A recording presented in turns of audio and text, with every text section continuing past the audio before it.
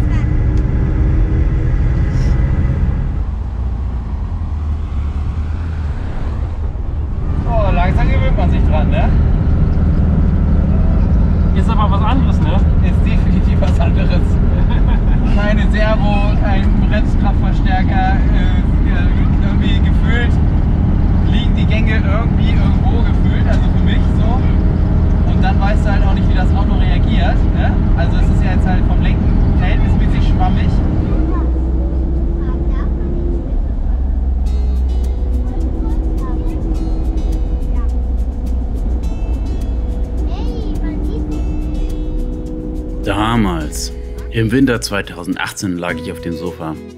Das Wetter war wieder mal richtig mies und ich seppte gelangweilt durch die Fernsehkanäle. Dann blieb ich irgendwie beim NDR hängen, denn die Moderatorin erzählte aus ihrer Kindheit und wie das alles mit der Liebe zu Schweden begann. Sie zeigten Bilder von glücklichen Menschen und kleinen roten Häuschen, viele Seen und wunderschöne Natur bei strahlendem Sonnenschein. Es war eine Doku über den Sommer in Schweden. Und dann zitierte die Moderatorin eine Textzeile von der Musikgruppe Revolverhelden. Wir liebten das Leben, den Sommer in Schweden. Ja, und dann erzählte sie noch, wie sehr dieses Land und diese Jahreszeiten ihr Leben verändern würden und dass sie bereits als Kind ihr Herz an Schweden verloren hat. Ja, die meisten von euch wissen es ja. Unser Plan war ja eigentlich, die Panamerikaner von Kanada bis Feuerland zu fahren. Ja, und dann, dann kam halt Corona und wir brauchten einen Plan B. Ich erinnerte mich an diese Doku von damals und die Worte der Moderatorin vom schwedischen Sommeridyll. Und außerdem waren wir ja auch irgendwie auf der Suche. Naja, was heißt Suche? Auf der Suche nach dem Glück vielleicht? Einen besseren Ort in dieser Welt? Einen schöneren Platz zum Leben? Oder wollte ich einfach dieses Gefühl erleben, was die Moderatorin damals beschrieben hatte? Doch Schweden war am Anfang wie eine bockige Freundin zu uns. Grau in grau und schlecht gelaunt. Ich hätte beinahe gesagt und ziemlich feucht. Nur ab und zu zeigte sie ihre Schönheit. Aber an diesem Nachmittag hatten wir das Gefühl, sie wolle alles geben, nur damit wir unser Herz in sie verlieren. Und nun mal so unter uns, ein bisschen hat die das auch geschafft, ne?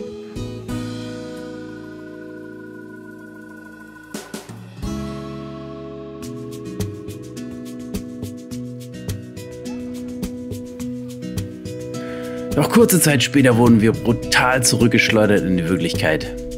Doch nicht der perfekte Ort zum Leben?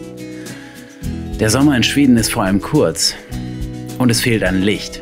Besonders im Herbst und Winter sind die Lichtstunden sehr kurz und oft ist es einfach nur kalt und grau. Aber eigentlich konnten wir in diesen Stunden nicht an den Winter denken. Nur an diesen Refrain von der Band. Wir lieben das Leben, den Sommer in Schweden.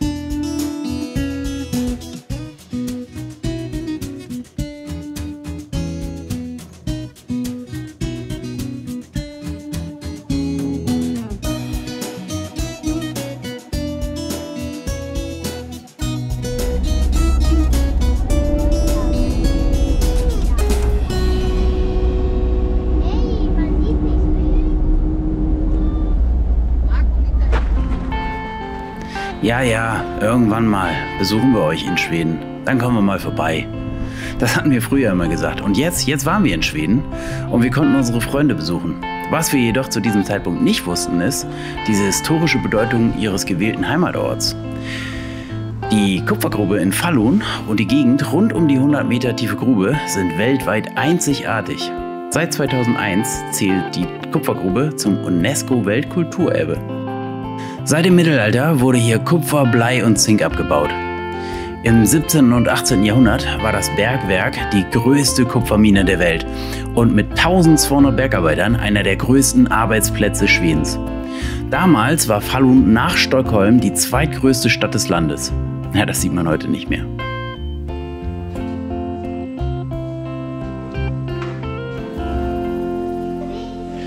Hier hängt die Erde von der Decke. Wir sind im Fallogruber äh, Museum und zwar ist das das Museum von dieser Zinkgrube und wir haben eine Tour gebucht und da wollen wir jetzt mal hin.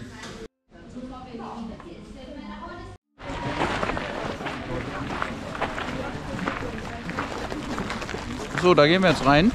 Entschuldigung, wir hatten noch kein Mittag. Da gehen wir jetzt rein. Da gibt es einen Helm und dann geht es runter.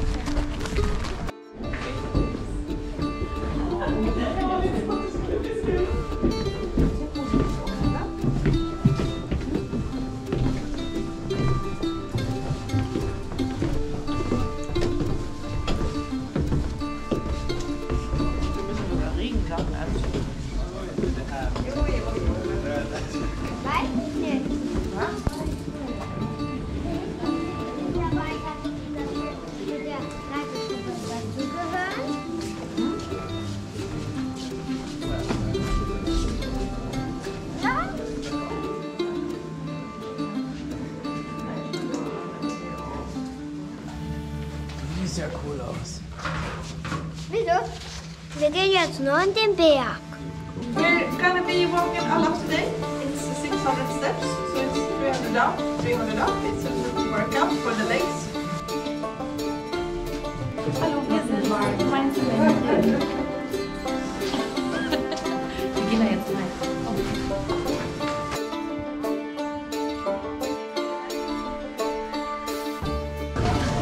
Komm, Wohin? ins den Berg. Du willst jetzt in den Berg? Sehr, jetzt schnell.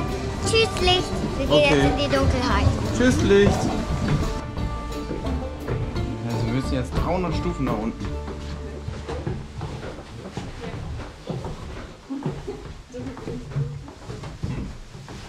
Dreimal, dreimal. Eins, zwei, drei.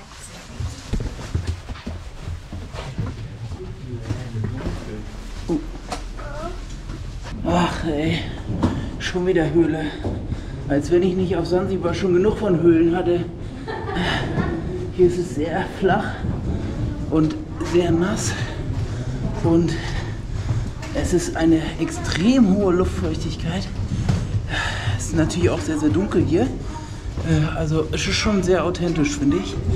Ähm, Und wir sind jetzt hier auch leider ein bisschen aufgrund von Lotti zurückgefallen, denn wir mussten erstmal 300 Treppenstufen nach unten. Aber jetzt. Ja. Hier geht's in den nächsten Gang. Oh Mann, ey. Es ist auf jeden Fall ganz spannend.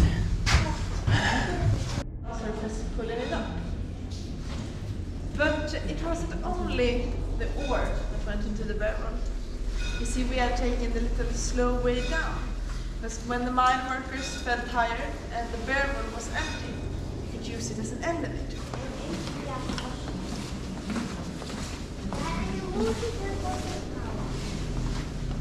Leute, es geht noch tiefer runter.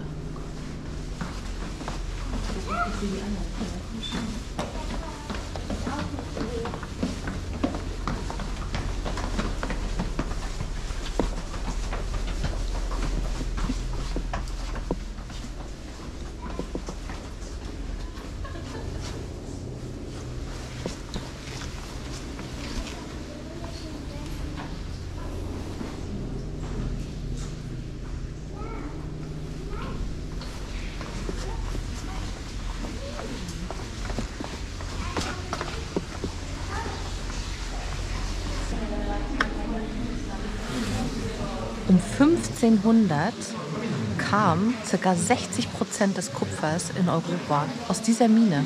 Ist das krass, oder? Auf jeden Fall. Irre. Und dann, wenn man sich vorstellt, dass dann nur 2% Kupfer in so einem Stein drin war und der Rest eigentlich Abfall, ähm, ja, dann äh, musstest du hier ganz schön ackern, glaube ich. Definitiv ist es auch sehr beeindruckend. ne? Man sieht das jetzt hier auf dem Kamerabild nicht so, aber Ja. äh, hier ist so eine Höhle, die ist extrem hoch und überall gehen kleine Gänge links und rechts und auch nach unten weg. Ja. Ähm, also es muss echt verrückt gewesen sein. Kein Wunder, dass sie uns am Anfang gesagt hat, bitte bleibt zusammen, weil das passiert mehrfach im Jahr, dass hier irgendjemand von der Reisegruppe verloren geht, äh, der dann irgendwie noch mal ein Foto machen will und dann muss einer extra runter den suchen. Ja. genau. Und diese Mine hier, also zumindest ein Teil der Mine, wurde bis 1992 noch weiterhin genutzt. Ja. Was auch krass ist, oder? Ja. Aber äh, noch viel wichtiger ist, also ich hätte hier, das steht mir nicht, sorry, ich hätte hier nicht arbeiten können. So, ja. Aber Lotti steht es, oder? Lotti? Fühlt sich wohl mit deiner Jacke und deinem Helm? Nee, ein bisschen kalt und ungemütlich.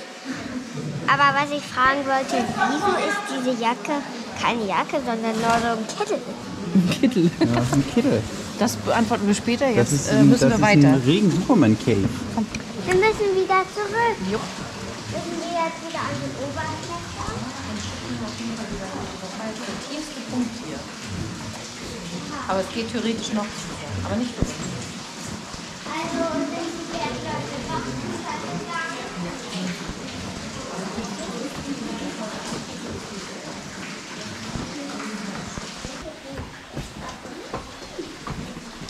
Ja, sie hatte gesagt, ähm, dass hier früher immer so ein Klopfgeräusch war für die Arbeiter, damit sie wussten, dass die Wasserpumpen noch laufen. Denn ähm, hier wurde kontinuierlich durchgehend Wasser abgepumpt. Hier wird immer noch die ganze Zeit Wasser abgepumpt, weil äh, ihr seht es, glaube ich, hier ist extrem viel ähm, Wasser. Es tropft und läuft überall von den Wänden. Und hier werden in der Stunde 35.000 Liter rausgepumpt. Das ist schon krass, oder?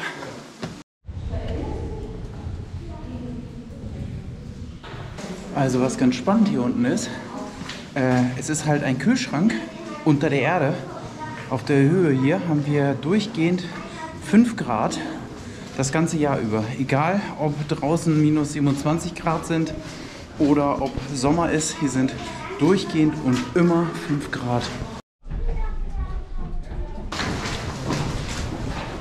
Ich habe die Reisegruppe verloren. Muss schnell hinterherlaufen. Gott, oh Gott. Oh, hier sind überall links und rechts noch kleine Gänge und Wege. Es ist echt verrückt. Also, die haben sich hier einmal durch den ganzen Berg gegraben. Es ist Wahnsinn. Überall sind hier nochmal versteckte Abzweigungen. Treppen nach oben, nach unten.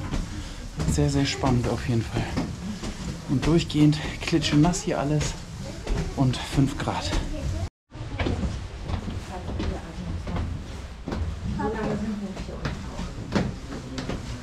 ich jetzt einen ganzen Tag atme, was passiert Oh, mir ist ganz schön warm jetzt. Ich die ganze Zeit diesen Helm auf dem Kopf gehabt. Wie war das für Mir dich? tut ganz doll die Stirn wie von Helm. Von dem Helm, der war ganz schön eng, ne? Ja, Ja. Und wie fandest du es sonst da drin? also ich fand, es war sehr gruselig und nicht spannend. Die hat auch einmal das Licht komplett ausgemacht, ne? Und dann konnte ich nichts sehen. Gar nichts mehr. Das war stockedunkel, ne? Dun- Dunkel. Wie ein Pavianpöter. Nicht? Papa! Ach so. Alles war stockdunkel. Lotti hat mal Mammut in Popo gefasst. Ich wollte es nur mal sagen. Stimmt doch, oder? Ja, das stimmt. Aber in ein, in ein Plastikmammut. Ja, trotzdem, ne? Man muss ja mal gucken, was da so drin ist im Popo, ne? Vielleicht Süßigkeiten. Ja, unbedingt Süßigkeiten. Oder, oder eine richtige Kackewurst. Ja, du wurdest zumindest nicht erwischt, ey. Das war ja schon mal gut. Ah. So. Rest der Reisegruppe ist auch da. Halleluja. Und wie war es für dich? Oh mein Gott. Äh, sehr aufregend. Das, äh, das war so eine Mischung aus, äh, wow, was, was haben die hier gemacht? Äh, vor hunderten von Jahren einfach so diese massiven Steine weggesprengt und dann diese riesigen Höhlen zu sehen, die übrig geblieben sind. Und auf der anderen Seite haben wir uns auch ein bisschen gegruselt, ne? Ja. Also besonders, als sie uns demonstriert hat, dass es wirklich stockduster ist, wenn das Licht ausgeht. Ja. Sie hat an einem Punkt äh, einfach mal alle Lampen um uns herum ausgemacht. Und äh, man hat die Hand vor Augen nicht sehen können. Das ist, ähm, ja. Und sogar, und ich konnte sogar nicht mehr sehen, wo ich stand Nee. und wo die anderen sind. Ja. Ich habe mich einfach nur an etwas an eine kühle Jacke gelehnt, die von Mama war. Oh, hoffst du? War ich das wirklich?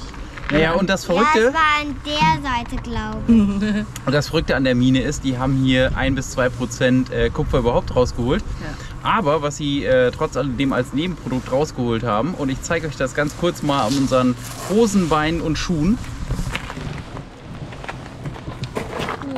Ja, Und und wie Hier kommt nämlich auch die Farbe für die Häuser her. Also Ja. die, Schwedenhäuser sind ja schön rot.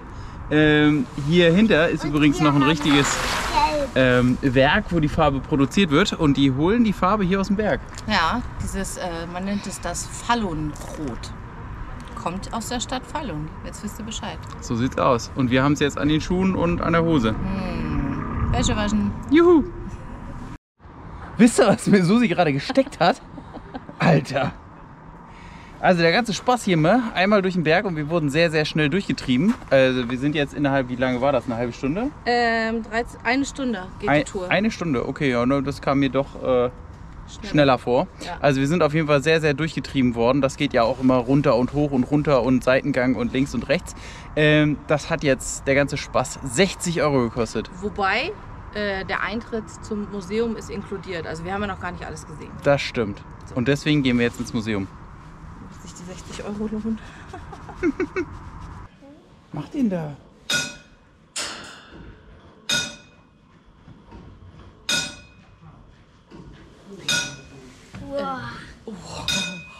Upsi. Habt ihr da gerade einen Stein runtergeworfen? Ganz klein nur. Hast du gesehen, wie tief er gefallen ist? Ja, ja, da, da. Wir machen hier gerade, wir machen hier gerade Physikunterricht, Leute. Ja, wir haben nämlich gerade den Stein bis da nach unten zum See geworfen. Und weißt du, was verrückt ist? Je tiefer der Stein gefallen ist, desto schneller ist er geworden. Wirklich? Übrigens, dieses nervige Klacken, was ihr da hört. Susi, was ist das nochmal? Das ist, ähm, das ist an der Wasserpumpe angeschlossen. Und ähm, das hört man bis unten. Als wir da unten standen, haben wir das auch gehört. Und sie hat uns erklärt, dass, ähm, dass das Geräusch war, dass die Bergarbeiter wussten, dass die Wasserpumpe funktioniert. Und wenn die das nicht mehr gehört haben, dann wurde kein Wasser mehr hochgepumpt und dann mussten die schnellstmöglich raus aus der Grube, weil sonst lief es ja da unten voll mit Wasser. Ziemlich cool. Und dann ertrinken sie. Ja, Genau. Ja, und da ist noch die Fabrik für die Farbe. Die hätten sie ja mal lustigerweise auch in Blau streichen können. Also wenn ich zum Beispiel an Farbe denke, ne, so wie Alpina, dann denke ich halt so an Katze. Aber wenn ich an Faluröttfag denke, dann denke ich an Sommer, Sonne, Großmütter, Erdbeeren, Kuchen, neue Kartoffeln. Ach Quatsch, das liest du doch ab hier. Warte, warte. Ähm, äh, Summer Jobs, Kittens, Caterfields, äh, äh, Caterfields, äh, sowas alles. Ja, auf jeden Fall äh, scheinen die Schweden eine besondere Beziehung zu dieser roten Farbe hier äh, aus Falu zu haben.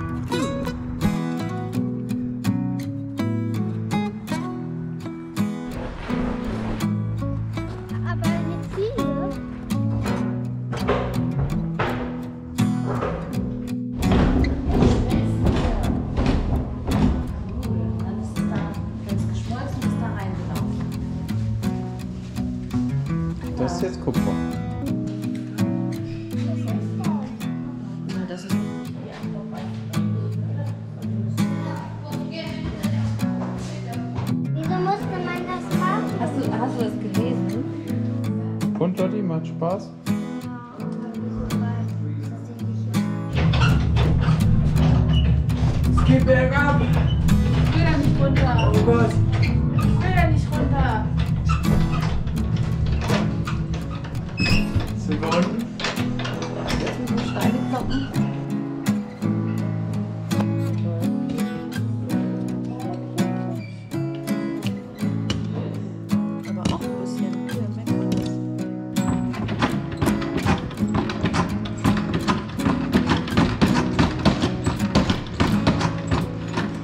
Verstehst du, was da passiert?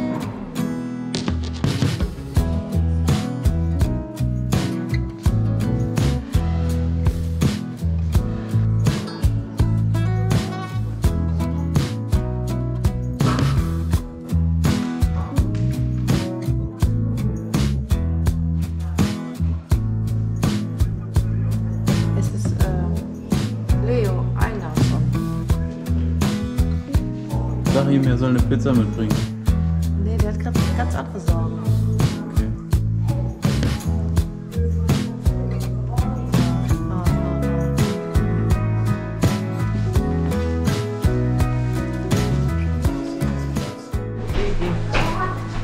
Ah, die Sommer in Schweden sind so kurz. Da machen die Museen auch schon um 16 Uhr zu. Jawohl. Und wir wurden jetzt gerade gebeten, unsere Sachen zu holen, weil es ist 16 Uhr. So sieht's aus. Aber ich habe auch echt Hunger, also. Ja. Aber sehr interessant, schön gemacht. Also klein, aber ähm, lohnt sich, ne? Also kann man sich auf jeden Fall angucken. Ist äh, sehr interaktiv. Man kann sehr viel hochheben, wiegen, äh, berühren, anfassen, dran rumspielen. Also ganz spannend. Das einzige Unheimliche ist diese komische weiße Frau, die hier immer auf dem Bildschirm erscheint und dann so irgendwo hin zeigt. Naja. So ist es halt. So, jetzt haben wir auch noch das Museum angeguckt. Check.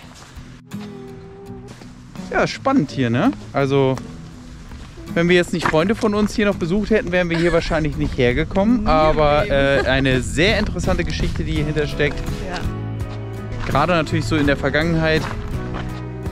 Und bei unserer kleinen Ostsee-Umrundung beziehungsweise äh, äh, Baltic-Tour oder wie sagt man denn? Ich weiß gar nicht. Also hier bei unserer Nordtour ähm, sind wir ja auch immer wieder durch Teile unserer tiefen Vergangenheit geschlittert und die berühren sich immer wieder. Ne? Ob es die Hanse ist oder der Deutsche Ritterorden oder wie auch immer. Ähm, alles taucht irgendwann wieder auf und es ist extrem spannend, hier so Museen anzugucken, weil man dadurch ein viel größeres Bild von dieser ganzen Geschichte kriegt. Geht's dir auch so?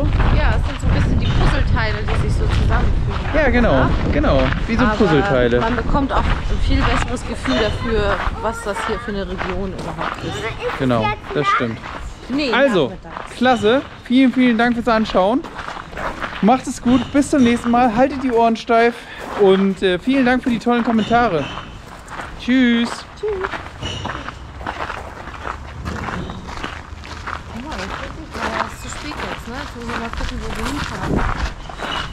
Gefahren? Nö, noch nicht.